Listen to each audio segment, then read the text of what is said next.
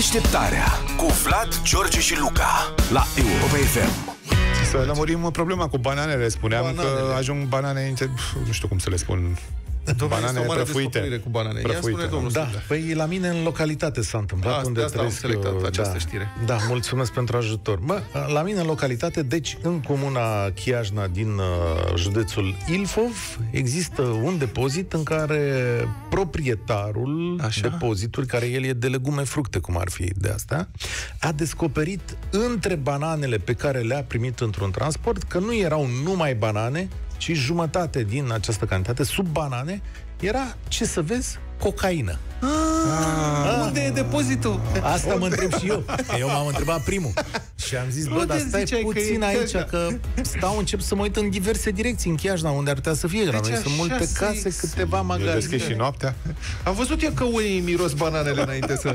Ai văzut asta? Da, am Eu- banane. Tu chiar Eu am ai o banană la Da, tine? mă simt foarte bine. De câteva zile n-ați văzut că sunt mai energic. Să nu zici că ai trecut Mănânc în o banană chiar pe acolo. dimineața, mai mănânc una după o oră, mai mănânc una după încă jumătate de ore, sunt super energic, sunt foarte vesel. Eu am avut o impresie acum, uh, ce să zic, am avut urmă... Eu am un vecin, e cineva în cartier, care dă artificii. Marțea.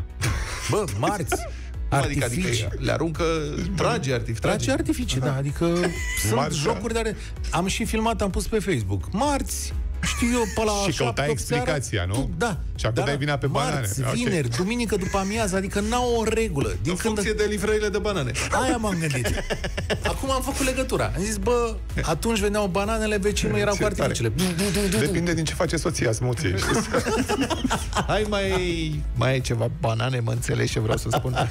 Când treci pe la mine. Și ăla ce a făcut cu bananele lui, cu cocaină? Păi, a chemat poliția. Aia chemat pe mine m-a poliția. mirat, da, Ce și pe oameni mine. răi. Deci, uh, a chemat oameni răi. Păi aia m-a mirat pe mine, pentru că uh, erau pachete cu 10 sau 15 kg, deci practic bananele lui valorau nimic Da. pe lângă pachetul adevărat care era acolo.